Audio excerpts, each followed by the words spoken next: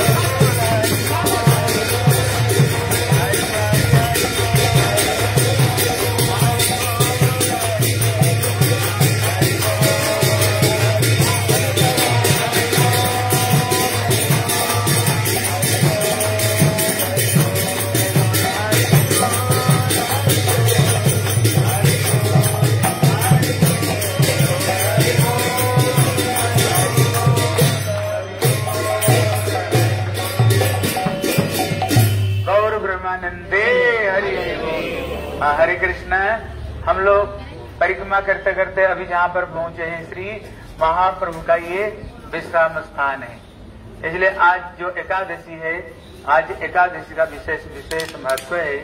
और आज का दिन से ही हमारे बांके बिहारी का तो कुछ दिन पहले हरियाली तीज में झुलन उत्सव गई, लेकिन हमारे गौड़ीय वैष्णव के, हैं, रीति के अनुरूप आज से ये झुलन महोत्सव आज से शुरुआत हुई। और हम लोग जो ये वृंदावन धाम परिक्रमा कर रहे हैं और एकादशी का दिन परिक्रमा करने का इसका विशेष विशेष महत्व है। महत्व तो रोज ही है, लेकिन जो एकादशी तिथि है, ये माधव तिथि, भक्ति, जननी, जतने, पालन करती जो एकादशी तिथि, ये भगवान कृष्ण का ही व्रत है। और एकादशी मतलब होता है, ग्यारह इंद्रियों को भगवान की सेवा में आज हमें विशेष पूर्वक लगाना। अभी जैसे हम परिक्रमा कर रहे हैं कभी जो परिक्रमा करने वाले व्यक्ति है, जैसे हम लोग परिक्रमा कर रहे हैं, साधारण लोग भी परिक्रमा करते हैं। हैं? लेकिन जो साधारण व्यक्ति जो परिक्रमा करते हैं, इसकी जो परिक्रमा है, जो भगवान को जो धाम है, कहते ये चिंतामणि प्रकर सतम सुकल्प वृक्ष। चिंतामणि मतलब है, आप जो धाम को जो मांगोगे, वो धाम वही देगा। क्योंकि ये धाम चिंतामणि। अगर ये परिक्रमा करते करते अगर दुनियादारी की चिंता करोगे हम परिक्रमा इसलिए कर रहे हैं, बेटा का शादी हो जाए, बेटी की शादी हो जाए, नौकरी लग नहीं रहे हैं, दुकान मकान बन नहीं रहे अगर इसी चीज़ के लिए अगर परिक्रमा करोगे तो ये धाम कल्प वृक्ष है ना, सारे वृक्ष। और ये चिंता चिंतामणि आपको वही चीज़ दे करके वो खत्म हो जाएगी। उसको आगे और कोई चीज़ देने वाली है नहीं। क्योंकि ये धाम है ना, जो मांगोगे तो देगा लेकिन श्री भक्ति ठाकुर कहते हैं गौरव अमार जैसव स्थाने करल भ्रमण रंगे से सब स्थान हेरव आमी प्रणय भगत संगे कहते महाप्रभु ने जहाँ जहाँ पर लीला की है परिक्रमा व धाम दर्शन करने तो करना तो कैसे करनी चाहिए? कहते प्रणयी भक्त संग। जो प्रेमी के भक्त हैं उनको साथ में अगर हम परिक्रमा करेंगे फिर तो हमें भगवत प्रेमी प्राप्त होगा भगवत भक्ति प्राप्त होगा। है?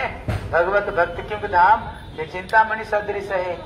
इसलिए हम लोग जो परिक्रमा कर रहे हैं, ये जो वृंदावन धाम है, ये क्या है वृंदावन धाम? बोले, ये राधा रानी की हृदय है। ये राधा रानी की हृदय है। ये वृंदावन धाम कोई साधारण वस्तु नहीं। ये दिव्य धाम श्री वृंदावन धाम है।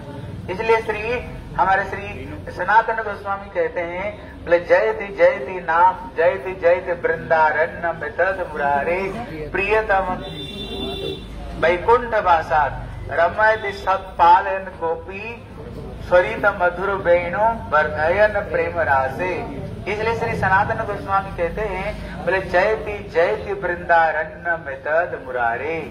कभी वृंदावन धाम को जब स्तुति करते हैं, कहते, जयति जयति। वो एक बार जय ध्वनि नहीं देते हैं। कहते, जयति जयती कहते वृंदावन धाम को दो दो बार जय ज्ञान करते। क्यों? कारण क्या है? बोले, जहाँ पर भगवान ने दिव्यरास रचाए, जहाँ पर कृष्ण सुंदर बंसुरी बजाए, जहाँ पर उन्होंने गैया चराए, जहाँ पर उन्होंने ब्रजवासियों को साथ में, जहाँ पर उन्होंने लीला की है।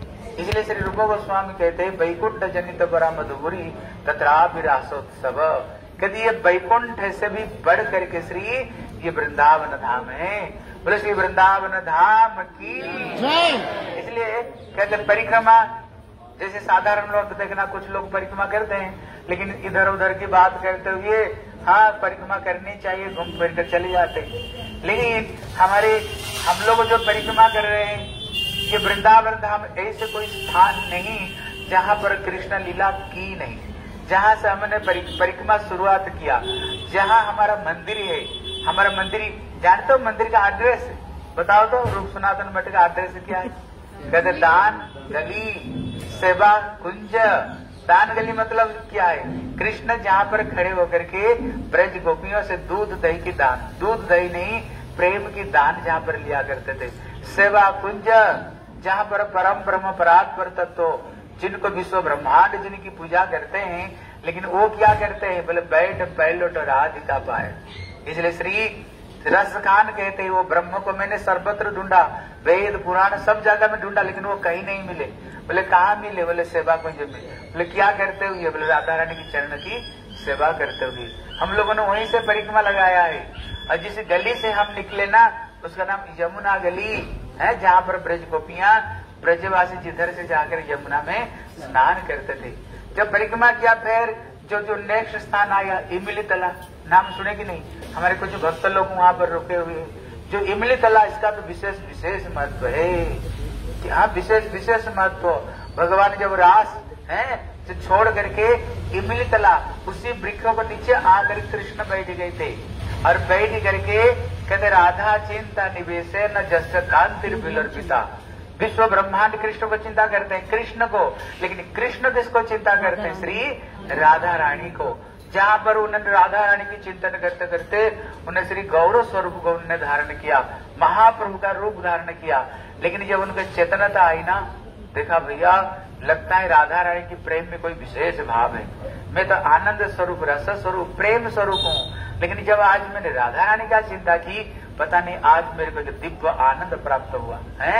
इसलिए वहीं से ही श्री कृष्ण चंद्र ने स्थिर किया, मैं कलयुग में ये सचिनंदन गौर हरि बन करके आऊँगा राधा रानी की भाव और अंग कांति लेकर आऊँगा, और ये विश्व ब्रह्मांड में हरे कृष्णा हरे कृष्णा, कृष्ण कृष्ण, हरे हरे हरे राम हरे राम राम राम, हरे हरे। जब थोड़ी दूर आगे आए, वहाँ पर आया श्रृंगार भट्ट, जहाँ पर कृष्ण स्वयं अपना हाथों से श्री किशोर जी की उन्होंने श्रृंगार किया है।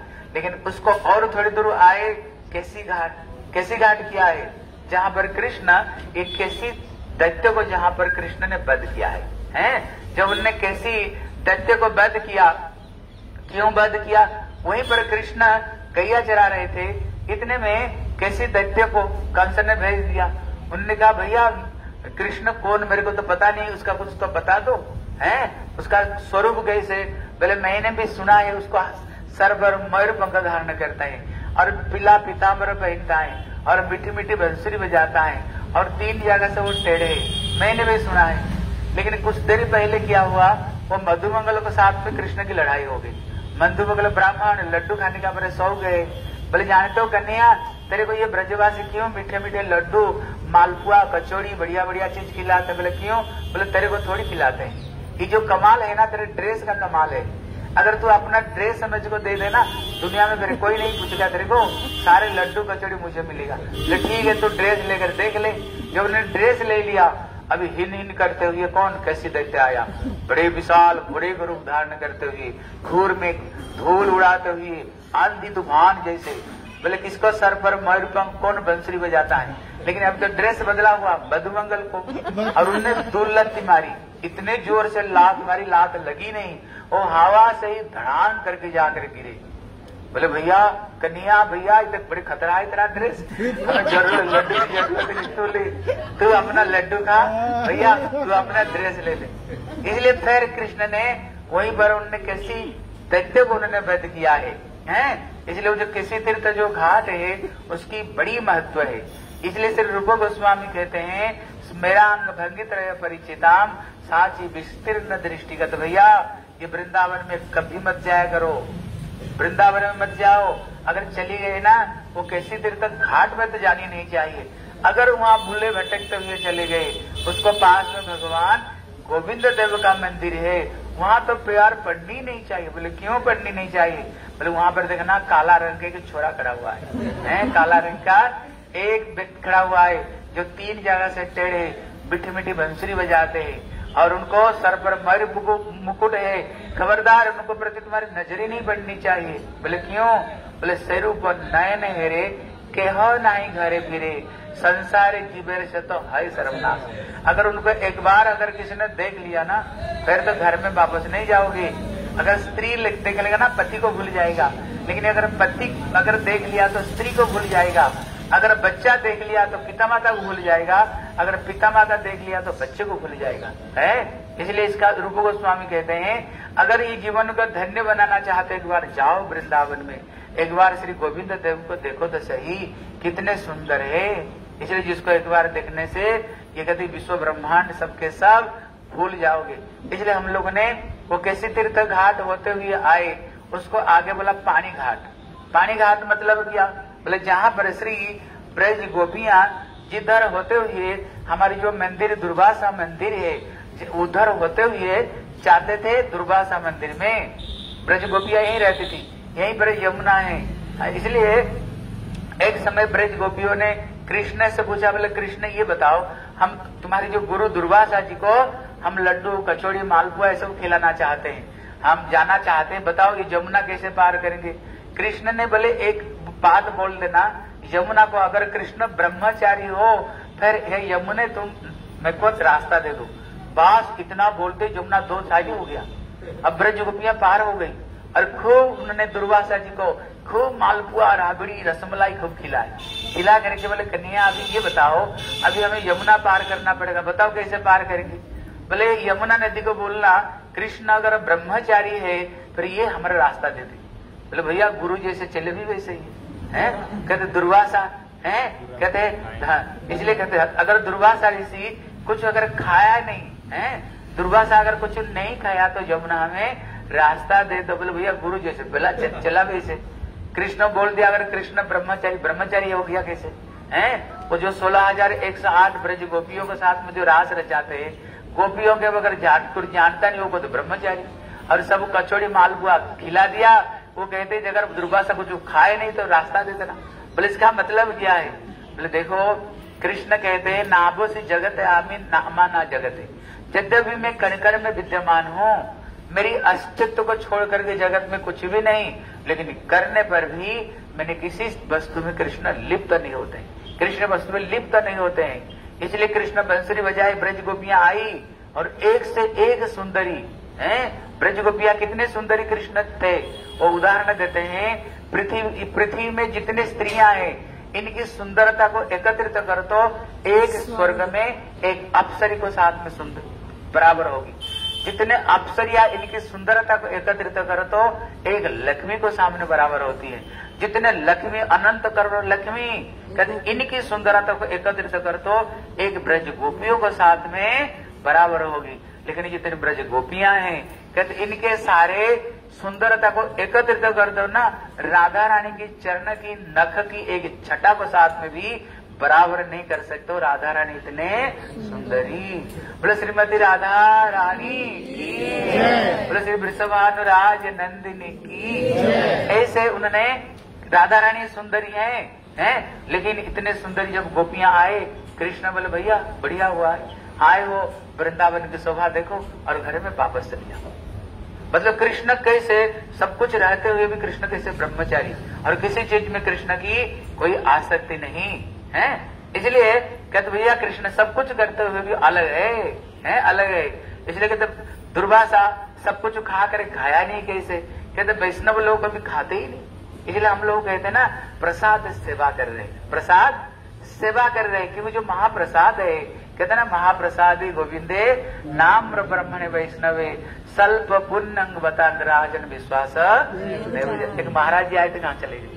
इसलिए हाँ?